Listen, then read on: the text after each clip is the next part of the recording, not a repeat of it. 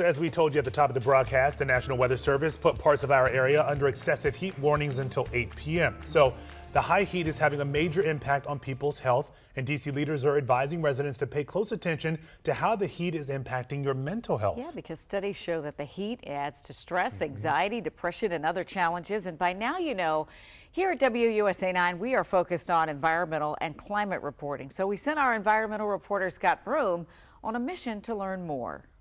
In a heat wave like this one, heat-related illnesses, or HRIs, are closely tracked, and we'll get to some recent numbers in a moment, but the impact on mental health is not as widely reported. Today, I reviewed data that points to a lot of very real human stress and misery from being so constantly uncomfortable in heat, and that sparked a conversation today with Dr. Jean Moise, the Deputy Director of DC's Department of Behavioral Health. Most of us are very well aware of the impact of extreme heat on our physical body. But What most people don't realize is that extreme heat can have just as much or more extreme impact on our mental health. Extreme heat causes irritability, depression, what we call labile uh, mood, extreme fluctuations in emotions and mood, and causes people to be less able to cope.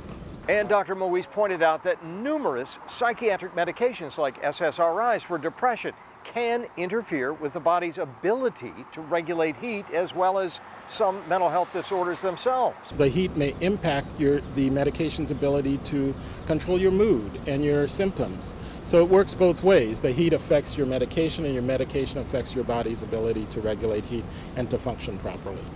Moise said the precautions are the same for physical heat symptoms, which is to stay as cool as possible, avoid drug and alcohol misuse, and seek help or check in with a doctor if you are not feeling right.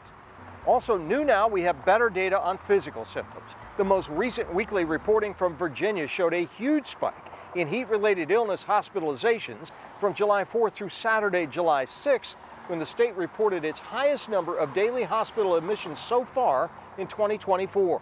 Maryland had a similar spike. D.C. did not provide data to WUSA 9. These heat illness effects, both mental and physical, are an expected outcome of extended and repeated heat episodes that are now accompanying climate change, according to the U.S. Centers for Disease Control.